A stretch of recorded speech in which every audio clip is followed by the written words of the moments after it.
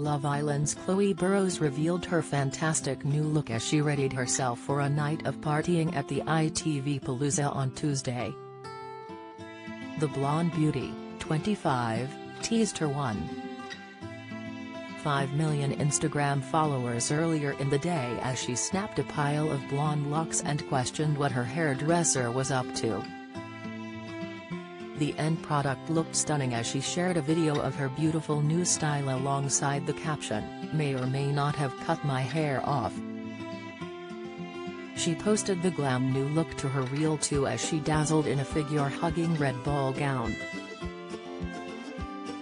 Her Love Island beau Toby Aromolaran was quick to shower her with praise on the post, as was fellow Islander Liberty Poole who simply said, wow, alongside two emoji faces with love heart eyes. It seemed like the reality TV show finalist was having a brilliant time at the star-studded event as she danced away with her man and Love Island winners Liam Reardon and Millie Court.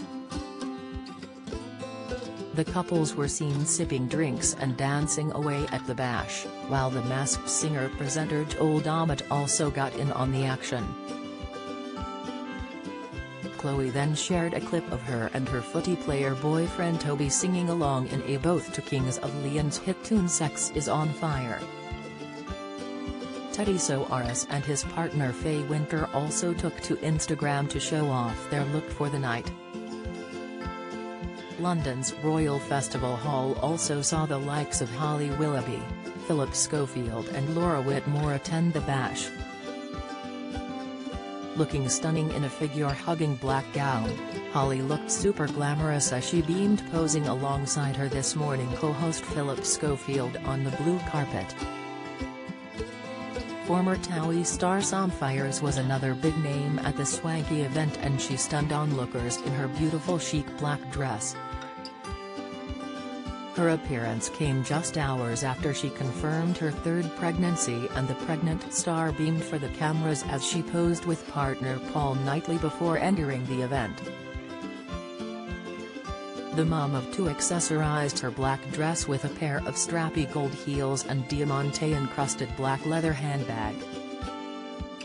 The 30-year-old had broke the news that she was expecting a spring baby next year and was spotted cradling her bump throughout the evening.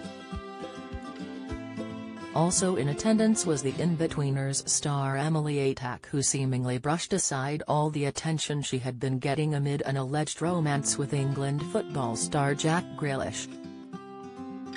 Do you have a story to sell? Get in touch with us at webcelebs at trinitymirror.com or call us direct 0207 29 33 33.